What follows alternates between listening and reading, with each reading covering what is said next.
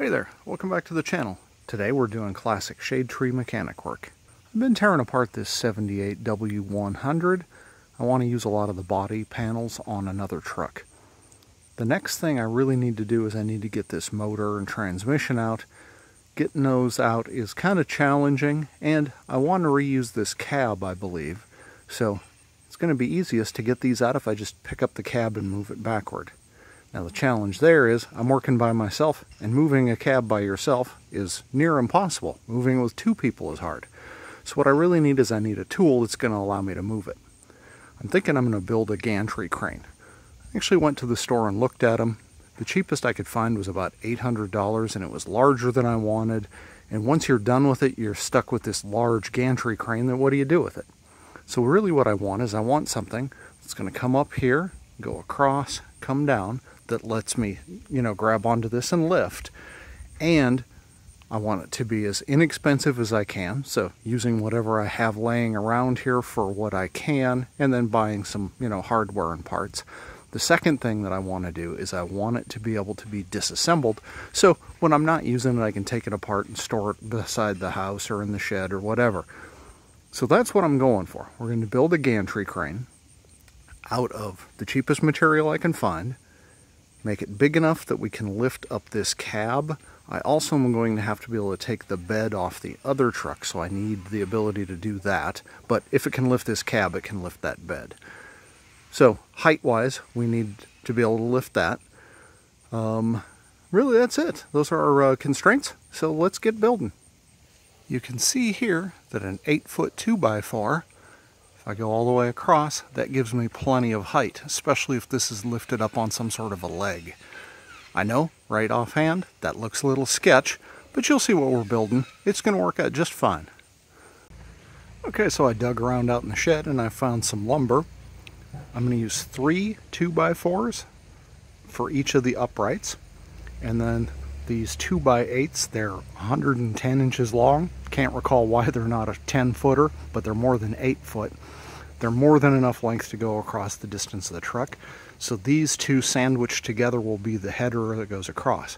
So basically we have three that come up, then the two bites come across, and then three more come down.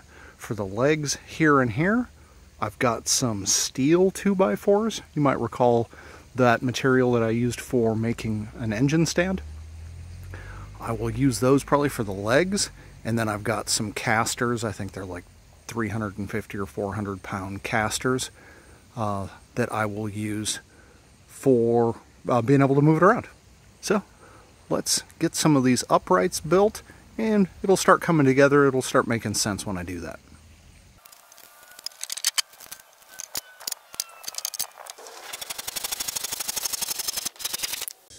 And so down on this end, this will be the bottom that goes down against the leg that has the casters on it. Up at the other end, I've got it notched out like this. So these 2 by 8s will fit right in here and here, one on each side. And then all of this stuff will get bolted together with carriage bolts, which will allow it to be disassembled. I'll probably just leave these together. In fact, I'll probably glue these together and bolt them.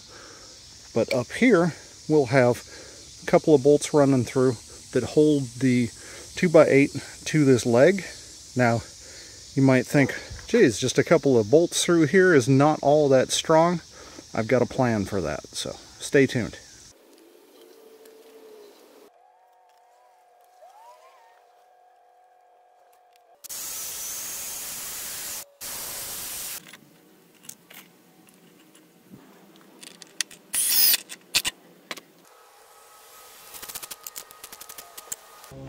Definitely longer than it needed to be, but I can cut them off.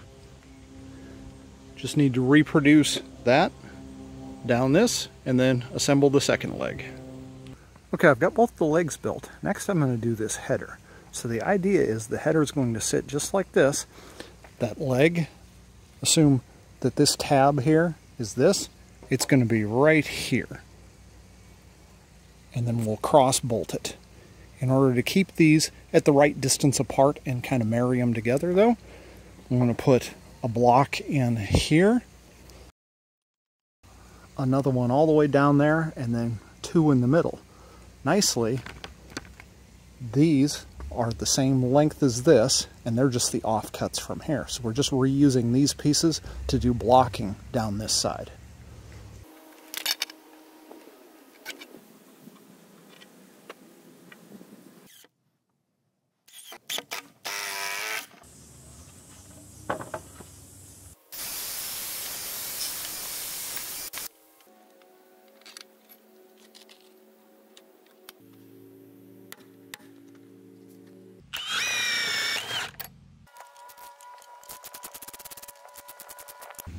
Next up is to assemble the legs into the header and then do the bracing between the two.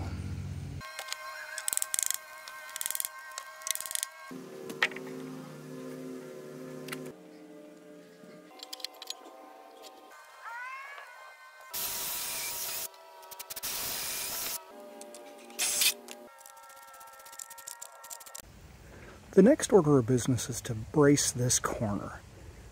We know that a triangle is really strong, so we want to make something that's triangular. I could take a chunk of wood and put it in there. The problem with that is I then have to screw it to here and here or bolt it. I think it's going to be harder to disassemble. It's going to be a real pain in the ass, in fact. So what I've come up with is I'm going to use this chunk of threaded rod with a turnbuckle on one end.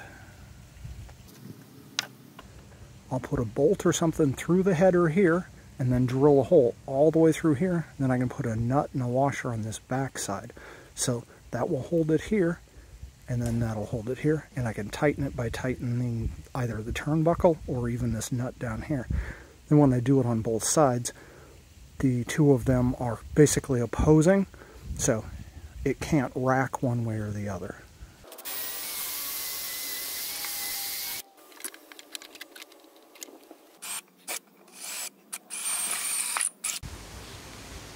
Okay, so if my description before wasn't completely clear, what I've done is I put in a bolt here, and that goes through this eye.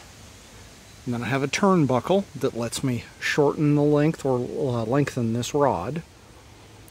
And then I come down here, and I have this nut on the outside, so that will pull against it.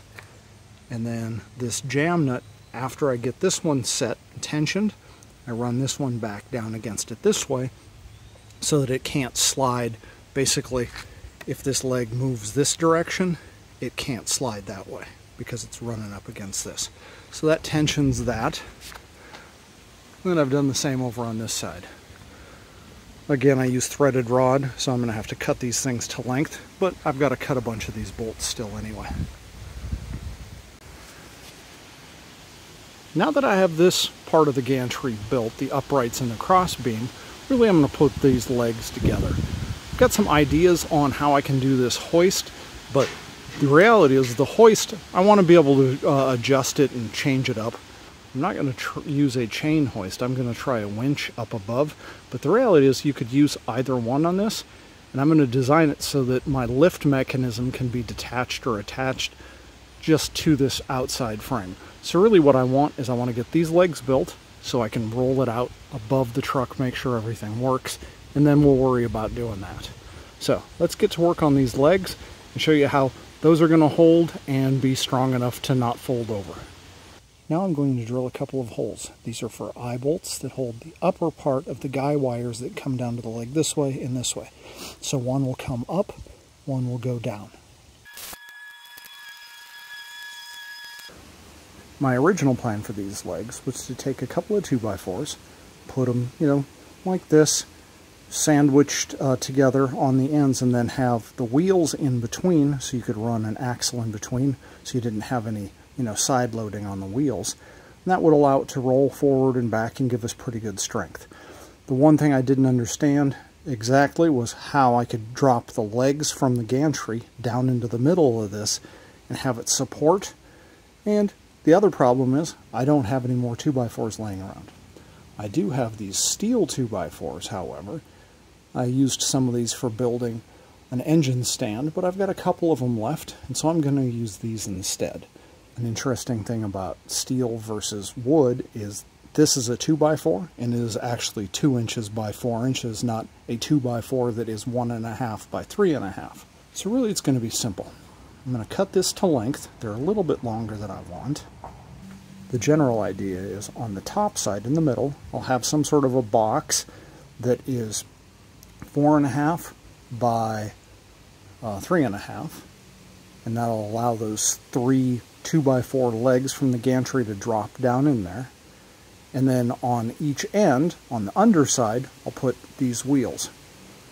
Pretty simple and straightforward. So I'm going to get this thing cleaned up, fabricate some sort of a box here, then put on the wheels, and then we're actually going to do guy wires effectively that come from somewhere out here, maybe all the way out at the wheel, haven't decided yet, up to the legs that will provide, again, that nice strong triangle to help the upright from doing this thing. It'll stay straight up and down once we've tensioned those.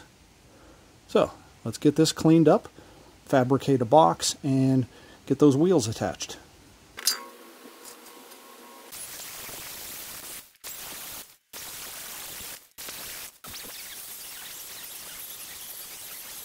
This is some 1 by 2 I'm going to cut two lengths, so here and here for the ends of the pockets, and then I'll box it in this direction.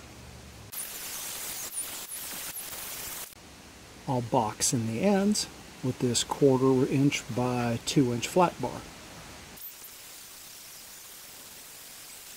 So I have to measure it out, make sure that that'll fit down in there and tack it together, but then this will mount here. I'll do two of those put it in the center, and then that post drops right down in here. So what we'll do is we'll use this square as a jig. Just bring this down, weld these together, so we'll clamp it and then weld it together. Flip it over so we can get this piece on here, and then we'll go mark it out and measure it. But in theory, that should just go right in there. Weld together, be nice and square and it'll fit right on that uh, upright post.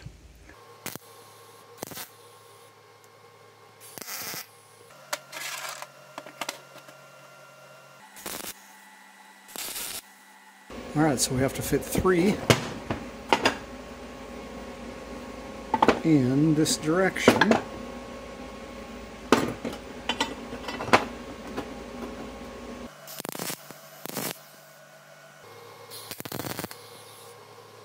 Alright, let's go over and test fit it on that post. If it works, we'll finish weld it, and then we'll attach it to the leg and uh, do the next one. Well, I went back and finish welded this and of course forgot to hit record, so whatever. The key is that this fits all the way in.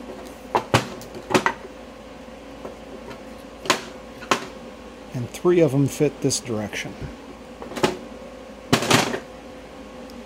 Might be a little tight because those sandwiched might not be exactly right. So if they're off just a little bit on that uh, post, it'll be a little bit tough to go down in here. But the reality is, this is steel, that's wood, this is going to win. So I'll just drive it in.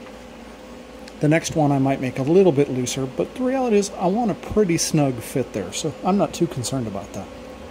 Let's go attach this onto the leg and then build the other one. Simple enough here. There's a center line on this lower box. And I did a center line on this piece. I just line them up right here. Make sure it's parallel on these edges. And I'll just weld it in place. Not the prettiest weld in the world, but it'll hold and I'm not a professional welder, so it's just for me. Okay, now that I have this box on the top side of both of them, I need to put the wheels on just like this. It'll allow it to roll forward and back.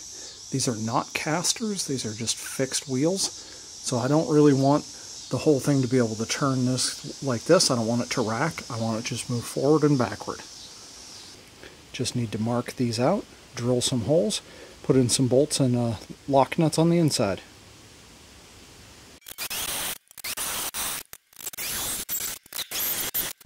Alright, I've got the holes for the wheels in. Before I do any painting or finishing, there's one last piece I need to put on this. So on the top here, out by the wheel but not quite this far out, I need to put an eye, and this will be attached to a guy wire that runs from here up to an upper part of that upright. So this will keep that upright from doing this. There will be one on each side. Then I'll use steel wire or steel rope to go from these to an eye up on that upright. I'll use some sort of a carabiner or a clip that allows me to remove it. Again, we want to be able to disassemble this.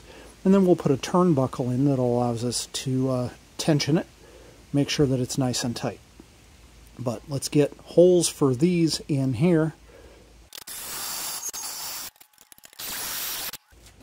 That'll go in there like that. And we'll put a lock nut on down here. Probably with some washers, of course.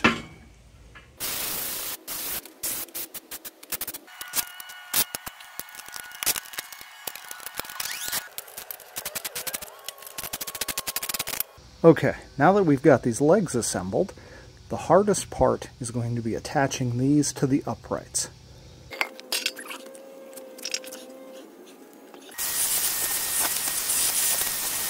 Alright, so we got one leg on. Next I'm to do a guy wire from here down, from here down, get that stabilized, and then move to the other side. I'm going to use this 3 16 wire rope for the guy wires. This is more than strong enough for what we're doing.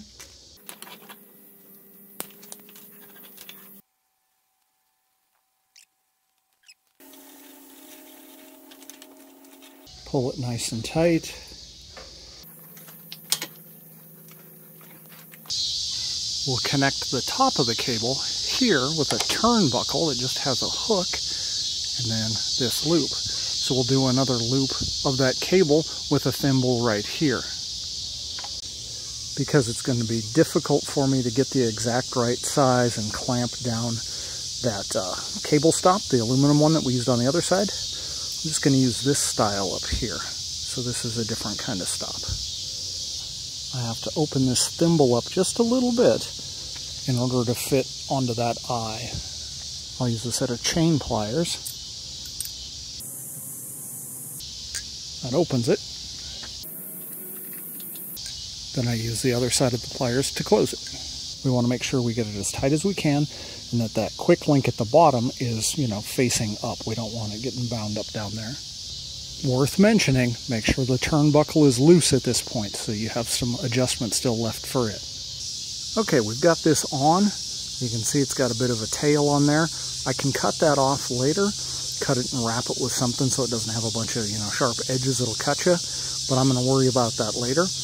The other thing that we have to do is put the other one on, but notice this one's a little slack. That's fine. Once we get the other one on, we can tighten up those turnbuckles and make sure this is square and get everything aligned. The nice thing about this type of a clamp up here is if we find out that we've run out of adjustment, we can undo it and pull some more cable through and try to tighten this up. Now I'm going to go do this other cable, get the other leg on, do those two cables, then we'll be set up. And there you have it, one gantry complete. I still have to do the attachment of the winch, which is going to sit right up here and uh, pass down below to give me uh, all this space here is usable. But it could be used, if I was pulling like an engine, I could use a chain hoist underneath, no problem at all. I think I'm into this about, eh, I don't know, two weekends of work and about $250, give or take. It's hard to say exactly because I had a bunch of this stuff on hand. You could probably find some of this stuff used, that kind of thing. So I think you could make this, especially without the winch, sub $300, no problem. That's all there is to it. Thanks for watching.